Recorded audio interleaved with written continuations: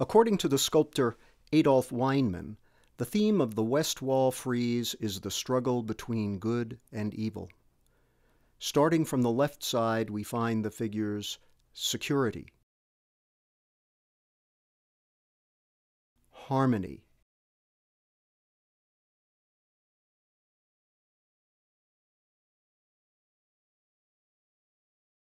peace.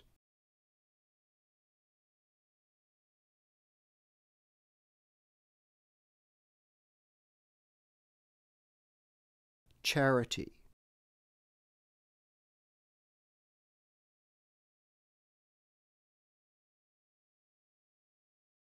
Defender of virtue,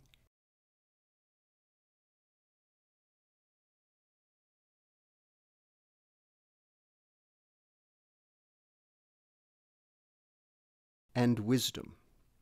Note the owl perched on wisdom's shoulder.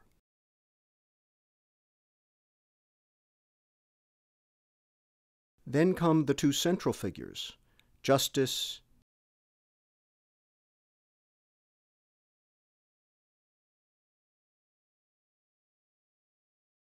and divine inspiration.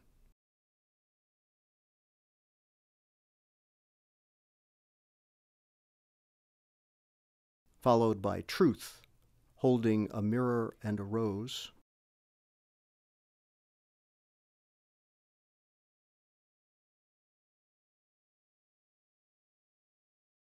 Next come figures entangled with snakes, representing evil.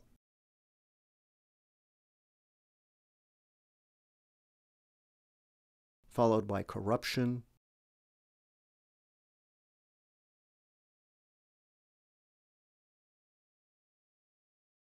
slander,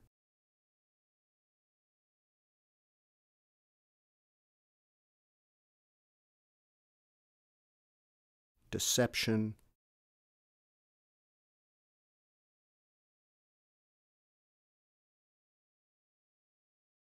and despotic power.